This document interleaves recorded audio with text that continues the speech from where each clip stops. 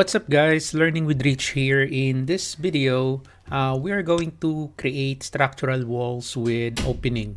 So we're going to use a column grid to sketch our new basement walls and we're going to add openings to the wall. Okay, so let's first open up our exercise file. So let me open this one. So it's in 2017, it's being upgraded to 2023 just close that one. Okay so let's do this. So currently I am on second floor. Okay so that's okay. I can still create my uh, basement walls from second floor. So I'm gonna select the structure ta uh, structure tab and then uh, select structural wall. And then from the type selector I'm gonna use here uh, exterior 300 mm concrete. So let's click this one, and after that, let's uh, put our attention on the options bar. So as you can see here, I'm on the second floor. So for the depth, I want that to be until the basement. Okay, so I select basement. So again, if you're going to select depth, make sure the level that you will be selecting here is lower than your current level. If you are going to select height, so make sure the level that you will be selecting here is higher than your current level. Okay, so from second floor, I will be creating my uh, wall up to basement level. Okay, and then for the location line, I want that to be placed on core face uh, exterior. And then I want to create a continuous wall. So I'm to make sure chain here is checked. And let me now start it. So using the line tool, I will be clicking A1, A1 grid, and then B1, and uh, B2, C2, C3, a3 and going back to A1 to close it. And then I'll select here modify to terminate it. And then if I check the 3D view, so this is now how it looks like.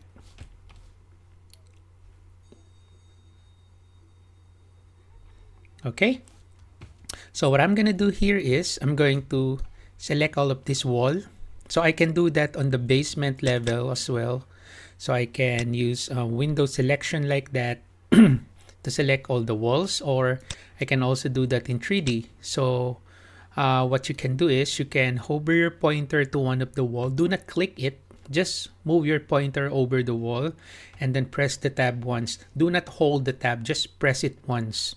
Okay, so once you press the tab once, it will highlight the chain of walls or lines if it is lines. So once you see it highlights so you can now click that. So let's click this. There you go. And then after that I'm going to change the base offset here. Okay that one. So I want to modify the base offset of my wall. So for the base offset I'm gonna make that uh, minus 450 to set the wall below the floor line. So minus 450 and then I apply there you go. Okay. Right, and then after that, the next thing that I, that I'm going to do is I'm going to open up the the basement here. So let's open the basement, and I am going to align my wall here. You see this wall on my grid uh, B2. I'm going to align that here on the uh, AutoCAD drawing. So this is an AutoCAD drawing imported in the project. So I want to align my wall to that uh, CAD. Okay, so to do that, so let's go to the modify tab and then from the modify panel, you can select your align. You can also type AL for the shortcut. So let's click this and then I'm gonna select this face here and then I'm going to select this face here of my wall to align the wall. Okay? And then just select your modify. Okay? So now the next thing that I'm gonna do here is from the first floor plan I'm going to create another structural wall. So I want to create a wall from first floor going to the basement. Okay, so I select structure, structural wall. So let's click this one. And then again, I'm going to use depth and then make sure on uh, lower than your current level. So basement is already selected. Okay, and then I'm going to pick here. Okay, and then I'm going to move my cursor to the right and then I'm going to type the distance. So if you have a distance uh, that that you want to type, so now is the right time. So you can type the distance. So let's say I type 11,900 and then enter. Okay, and then after that, just select modify to terminate the tool. So that's it. So if you go to the 3D view, so this is now how it looks like. Okay. So if I go to the basement, this is actually that uh, wall here this one okay so let's say I want to change the type of this wall because this wall is exterior wall right so I'm gonna select this wall and then from the type selector I'm gonna change this to 190 mm masonry so let's click this and there you go so it's now changed Okay, so now the next thing that I'm gonna do is I want to add a door opening. So let's add the door opening. As you can see, there's the door here from our AutoCAD drawing. I am not going to place a door here, but just an opening. Okay, so to do that, so I'll go to architecture. I'll select the door here. And then from the type selector, I'm gonna use this one, uh, 915 by 2134 opening. So let's click this Okay, and then, all right, so I'm gonna pick here to place now my opening. There you go. Okay, so if I select modify here and then check again the 3D view, so this is now how it looks like. So there's now the uh, opening. Okay, so now the next thing that I'm gonna do is I'm going to add window openings in my elevation view. Okay, so let me open my south wall elevation here, double click that, and then I'm gonna create one here. Okay, again, I'm to use the architecture tab, but this time I'm to add window opening. So a while ago, it's door opening. So this time it's window opening. So let's click this. And then from the type selector, let's use here. Uh, okay, so what I want is bigger than this one. So I'm going to edit the type. Okay.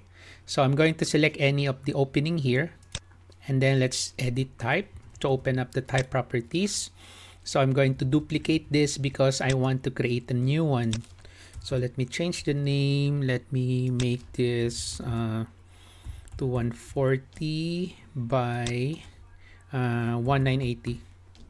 Okay, then okay, and then let's change here. So 1980 and then the height is to 140 and then I'll just select here okay?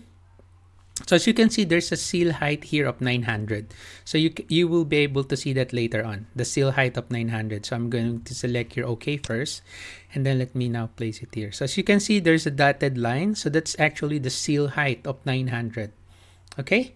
So I'm now going to place it here like that and then I'll select here modify and then let me select this opening that I have created and then I'll change the sill height just make that zero enter and then let me now move this or align click that side and then click that side. There you go. And then select modify. Okay. Now the next thing that I'm going to do is I'm going to edit the wall profile to add an opening. So here, what we did is we used the door tool and use the door opening family to place an opening, right? To create an opening here. So this time, we are going to edit the wall profile to add an opening. So to do that, I'm going to select this wall here. So in 3D view, this is this wall. So let's click that wall. And then from the mode panel, you can see here edit profile. So you can click edit profile, click that. And then uh, let's go back to our elevation much easier. So There you go. So we are on the edit profile mode. So I'm going to create now my opening here. Okay, so I'm going to select rectangle. I'm going to click here and then click another point here. And then let's change the distance. So let's change this. So I want this to be to 140, enter. And then this one here is I want 1980, enter. Okay, and then I'll select your modify. Now I'm just going to select all of this. I'm gonna use the move tool and then I'm gonna make sure this is moved here. Okay, just to tidy up our uh, opening. And then I'll select here, modify. There you go. Okay, and then after that, just finish it. So finish edit mode, there you go. So you just created now the opening. And also, notice that the window opening on the right here, it displays uh, symbolic lines representing the opening. So these lines or these symbols are built into the window family. That's why you have this. So the opening on the left side created by editing the profile does not uh, display the symbolic lines. So however, you can add detail lines if you would like to just put a symbol. So you can go to annotate, you can select detail line, and then you can just using the line tool here, hmm, then you just draw it manually. Like that, escape once, then click again here and here, and then escape once, then modify. So that's it. So in our 3D view, so this is how it looks like. Okay, so on our next exercise, on our next video, I'm gonna create and modify pilasters. So for this one, hopefully you learned something from this video. Thank you for watching. Have a nice day.